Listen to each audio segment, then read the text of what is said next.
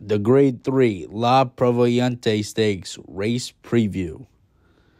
This was last year's running. It's a Grade 3, a mile and a half on the turf for older fillies and mares. It was won last year by number two in this race, showing last year's running by personal best. She broke pretty well, but she's going to drop back and come from behind there's no personal best in this year's running, so there's no chance to go back to back. Personal best is just loping along. She's sitting third last behind this fast pace for this distance. They go around the first of three turns. They're just loping along. This kicks off the stakes action on Pegasus Day at Gulfstream Park. We got a great card. This is our first race preview of the card. Adventuring the three to two uh, second choice is setting the pace, followed by Beside Yourself, Transient, and My Candy behind them. Then the six to five favorite, Personal Best, sitting third last. And the other two are at the back of the pack. Adventuring. Adventuring is setting the early pace. They went the first quarter mile in 23.48 seconds, half mile in 48.19 seconds, three quarters of a mile in 113. As they go down the backside after just completing the second of three turns, it's still adventuring, followed by Beside, beside Herself, My Candy Girl, and Transient. Personal best is still loping along, waiting for the cue from the jockey. And then number one and number seven trail the field. They went one mile in 138.71 seconds as they go around the final bend. They, they got to get to adventuring, but here comes personal best. She looks like she's got boatloads of, of horse. She's going to go to the outside. She's going to be much the best in this race. Adventuring is still a leader. Transient, transient is going to get first run, though. But here comes personal best. Jockey hits her once, straightens her out, and she's going to go on to victory. That was a 2023 edition of the La Prevoyante Stakes.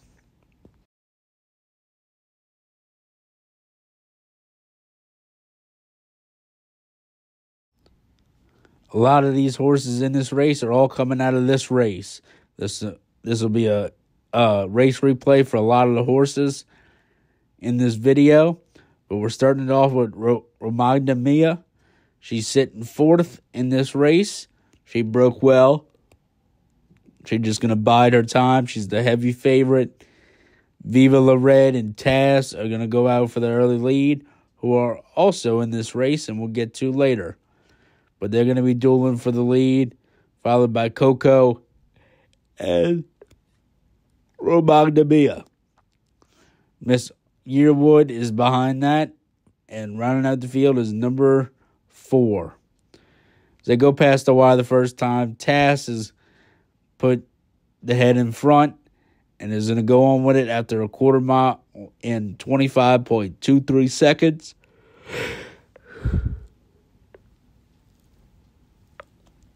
La Red is back to second. Coco is in third, and Romagna Mia is pretty much walking in fourth. They went the first half mile in 49.61 seconds. They picked it up a little bit, but still not fast at all.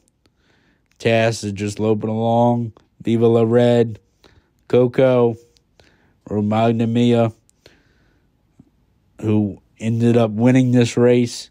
Just waiting for the cue. They went three quarters and 115.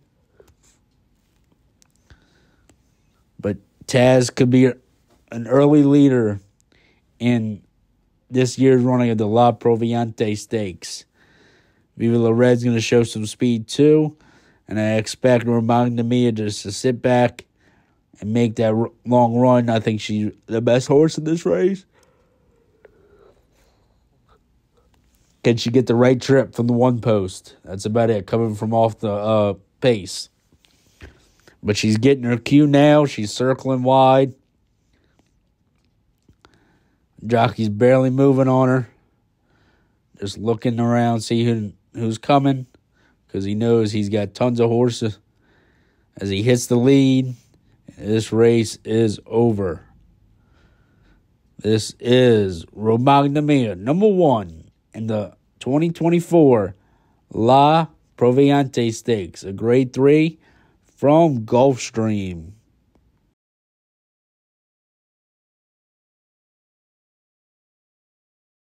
Number two in the La Prevoyante Stakes is Viva la Red, who is coming out of the same race as uh, Romagna Mia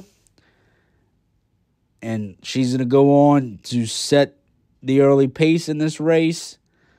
With Taz, Viva La Red was 40 to 1 in this race.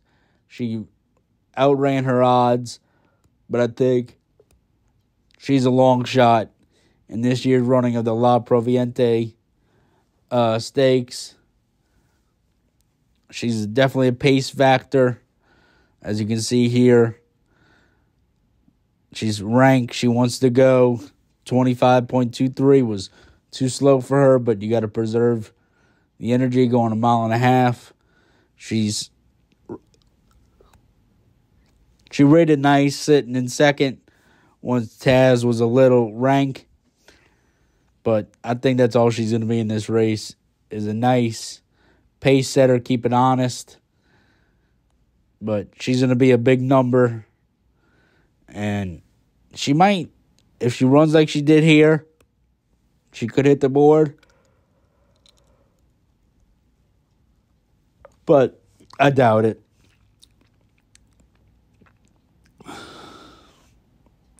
She's just sitting right behind Taz, who's just loping along, went three quarters in 115. Just waiting for the jockey to say go. She's not at his rank. She's on the flank of Taz. Got to hold off the big girl though. Romagna Mia, who's who moved up, and obviously, as we just saw, they're not going to be able to do that. But I think she's nothing more but a pace play in this race. She doesn't really quicken. Here, she's a little grinding it out, moving up inch by inch as Romagna Mia is coming. She ends up getting swallowed by Romagna Mia. But can she hang on for third? No. She actually can't. No, she's fighting. She does hang on for third. Yeah. So she was beaten a long way by Romagna Mia. I doubt she can make up those lengths in one start. think she's a toss. Is Viva La Red in the La Prevoyante Stakes.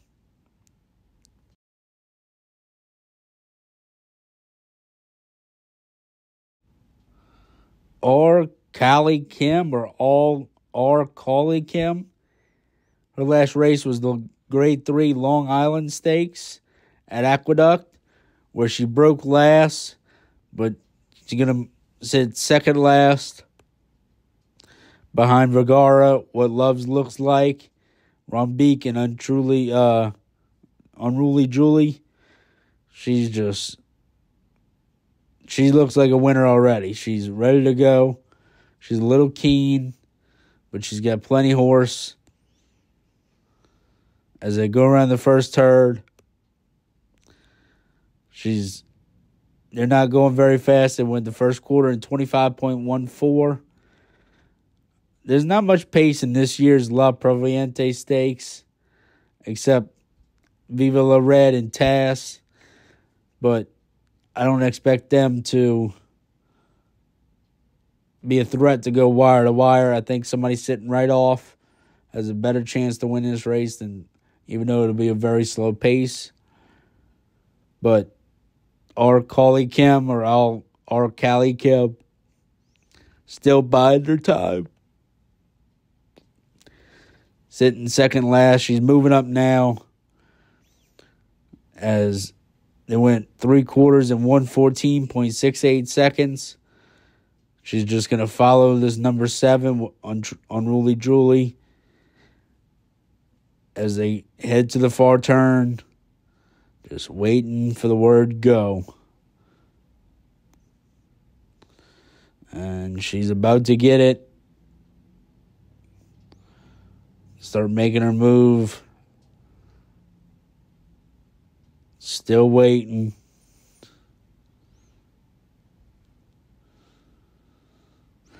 Now he says go.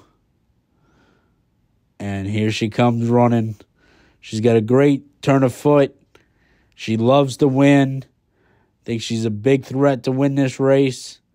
She's like 8 for 14. I put it with her intro to the horse. But I think she's a big threat to win the La Prevoyante Stakes. That is R. Colley or Callie Kim.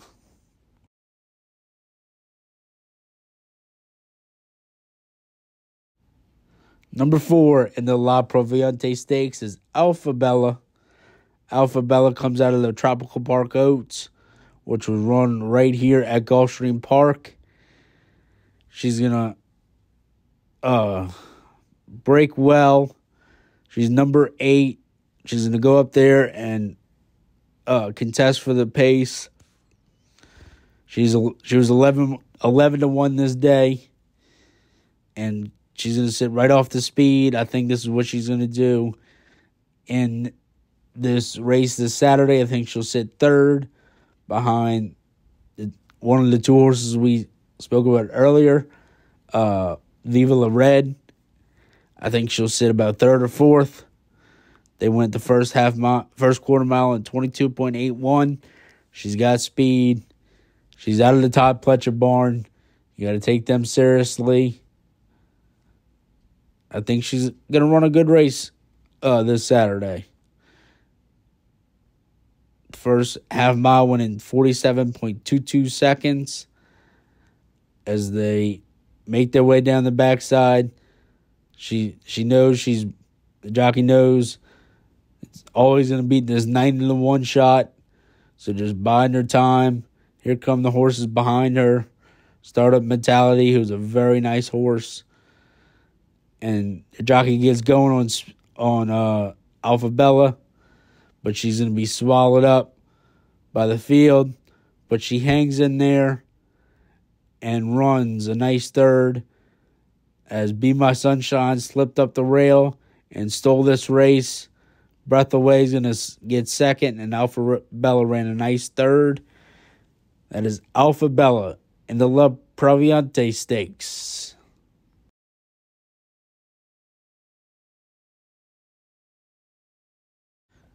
Anatolian. This horse is the wild card in this race. Yes, she's coming out of claiming and starter allowance horses races, as this was her win in the off the turf uh claiming crown at the fairgrounds. But trainer Mike Maker is dangerous off the claim. He loves to bring these claiming horses and then they pop up and win major stakes races across the country. So you got to take that into factor. This is was her win in the off the turf claiming crown race. She's dead last.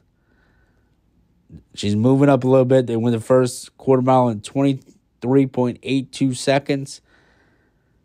Uh, it, coming from that far back, she needs a pace to run into, and I don't know if she'll get it in this uh, race. She's just better than these horses, so she was uh, able to overcome a slow pace. But she's kind of blocked in now. She's shuffled back to last.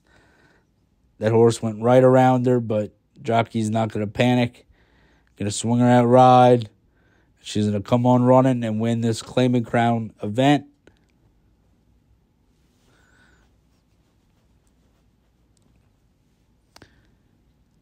as they come down the stretch. She's to f- battle with this horse down to the, the wire, but she's to edge on by. That is Anatolian in the La Prevoyante Stakes at Gulfstream Park. She's a wild card in this race, and wouldn't one I would not leave off the ticket at a nice price.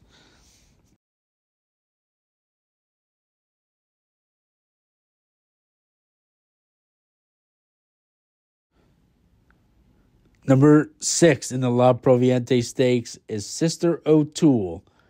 This was her last run at Del Mar, where she broke nicely, and she's going to drop back to pretty much last. There was no speed on tap this day at Del Mar, and there is no speed lined up in the La Prevoyante Stakes. So that might be a problem with her running style. The thing is, I don't. There's no speed at all. I think they'll be a little more bunched up than they are here, as she is ten off of them. I don't. I hope she's not that far back because she's got no shot. As they went 26 here, I don't think they'll go that slow, but it's going to be a slow pace, and she's going to need to work out a trip from being last. And if she's good enough, maybe she can overcome it. She's a very nice horse, as she's banked a lot of money, as you saw in, in the uh, horse preview. But she was just too far back this day. They went almost 52 seconds for a half mile. That is crawling. And it's incredible she was able to make up as much ground as she did. As they go down the backside, she is still last by a good margin. They went six furlongs in 117.30 seconds. And she's still last. If they go that slow and she's that last that that far back, she's got no shot. She needs to be closer up. As they go around the far turn, jockey is starting to feel like we need to go. He's pressing on her, but she's not responding. She's gonna go wide. She's making up a little ground. She's she she's a grinder. She doesn't really have that uh, turn of foot, but she was just too far back to catch the leaders. She did close very nicely. She got up for third, but the uh, they just walked the dog up front. That is Sister O'Toole in the La Prevoyante Stakes.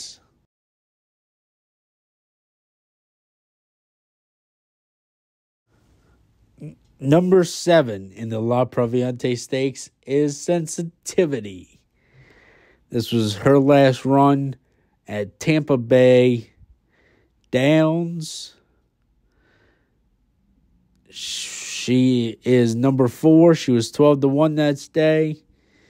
She's sitting in a nice stalking trip, which I think could be advantageous for her, as there's no speed, as I've been saying the entire video but that could be very advantageous for her. She's sitting fourth right now. She went off at 13 to 1 this day, and she couldn't have got a better trip. They went the first quarter mile in 24.17 seconds, and she just following the favorite, the 9 to 5 favorite Treasure Gem in this race. As they go on the backside, she is just blocked in right now.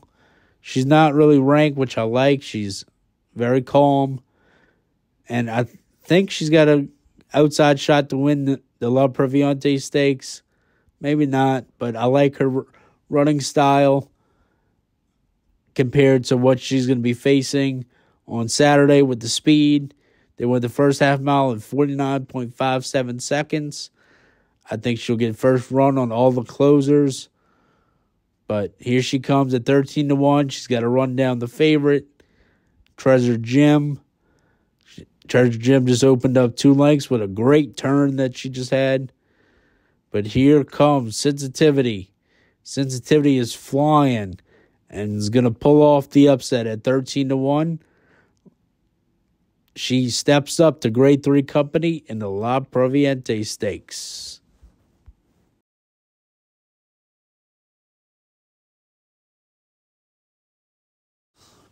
The second to last horse in the La Prevoyante Stakes is number eight, Taz.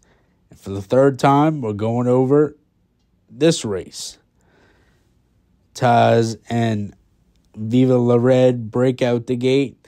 I think Taz can be a dominant horse in this race if she can maybe get to the front and slow it way down because she was a little rank here. But even they went 25 and she wasn't good enough to hold off Romagna Mia. Maybe she can hold on for second. And I think she will probably be on the lead as Viva La Red gave it up to for Taz. But I think Taz may might be second best. So I do think she'll probably be on the lead. I don't know. I think this race is reminding Romagna Mia's race to lose. I think she's very solid favorite to win this race. She likes Gulfstream. She ran down Taz and Viva La Red, two horses already in this race. And I don't think the outsiders are that strong. But Taz, I think, could hit, definitely get a good shot to hit the board and round out the exacta or steal it if reminding me it gets blocked in because she is coming from the one post. But I like Taz's shots in the La Prevoyante Stakes as speed always does well at Gulfstream. We shall see. This is why they run the race. They go around the far turn. It's still Taz. Coco is dropping back.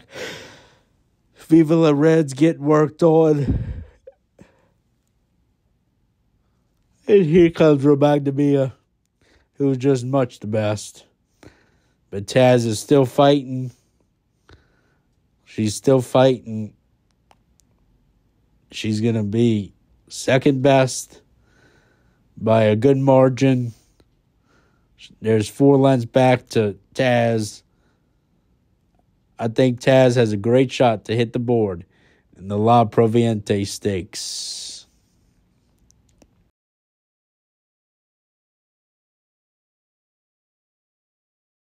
And finally, the last horse in the gate for the La Prevoyante Stakes is Highland Grace. This was her race in the Sands Point Stakes at Belmont at the Big A. This is a grade two over a yielding race course. She won't get that. Uh, she'll get a firm one at Gulfstream. Leave no trace is going out to set the uh, lead. Uh, heavy favorite Eternal Hope is moving on up. Be Your Best is moving up. I think uh, Highland Grace will probably just be too far back. She's the number eight. She's just way too far back. They went the first quarter mile in 24.42 seconds. Leave no trace. The long shot leader is starting to slow it way down. Be your best in eternal hope or third and fourth over this yielding turf course. Turf course, and with Highland Grace, I think she might need this race, even though she's gonna be coming from way out of it. I think she's gonna need it. This is her first race in a very long time since this race. I think she'll need it. As they come into the stretch, Eternal Hope is going to look for a seam and she's going to get it. Here comes Highland Grace on the inside. She's flying up the rail, but it was just too too little, too late, and she's going to settle for third. That is Highland Grace and the La Prevoyante Stakes from Gulfstream this Saturday on Pegasus Day. Thank you for watching the video. Please subscribe, turn on that notification bell. Please like the video, share it with your friends. Let's grow the horse racing world. And go check out our website and Patreon. Thank you.